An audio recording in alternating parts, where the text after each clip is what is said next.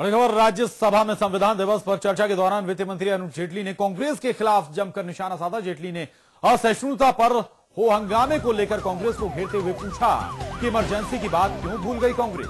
इंदिरा गांधी पर हमला बोलते हुए जेटली ने कहा कि आज असहिष्णुता को लेकर कांग्रेस हंगामा मचा रही है, लेकिन इंदिरा गांधी द्वारा देश पर थोपे गए इमरजेंसी की बात क्यों कांग्रेस भूल गई?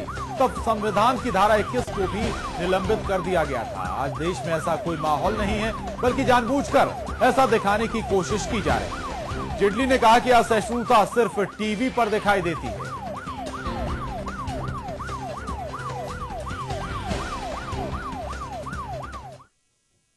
During the 1970s, one of the biggest challenges we faced was Article 21 was suspended. And the government succeeded in convincing the Supreme Court that if Article 21 is suspended, because it was suspendable, the citizens of India have lost the right to life and liberty.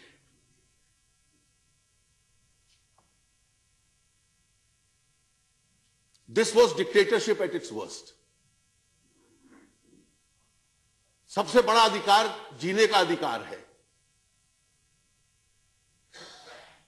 आज तो television की screen पर कोई आदमी आकर गैर जिम्मेवारा बयान दे दे तो हम उसको इंटॉलरेंस मान लेते हैं। उस वक्त तो यह स्थिति थी कि आपको नाजायज तरीके से आपका जीवन भी छीन लिया जाए। Of there is no no the difference is between a a and a a molehill.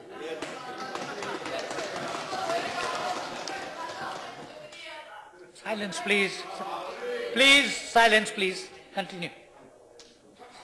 So the argument was that Article 21 is suspendable. People lose the right to live. People lose the right, right to liberty. They can be jailed without reason. They can be killed without reason. And people will have no remedy.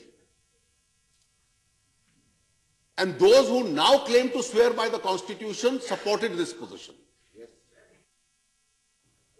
कोई बाबा साहब अंबेडकर हो, सरदार पटेल हो, नेता सुभाष चंद्र बोस हो, पंडित जवाहरलाल नेहरू राजेंद्र प्रसाद हो, मौलाना आज़ाद हो, उसको कोई छू, उसको छीन नहीं सकता चाहे कितना प्रयास किया जाए वो संपत्ति जिसकी है, उसी की है। वो देश की संपत्ति है। देश की संपत्ति है। और यही काश अगर ये, काश अगर ये आप कहते कि वो देश की संपत्ति है तो झगड़ा ही खत्म हो जाता यही तो मुसीबत है। यही तो आप मुसीबत है कि आप डिवाइड एंड रूल जो अंग्रेज़ों की पॉलिसी थी, उसी पर आप चल रहे हैं। या उस पॉलिसी पर चल रहे हैं? Divide and rule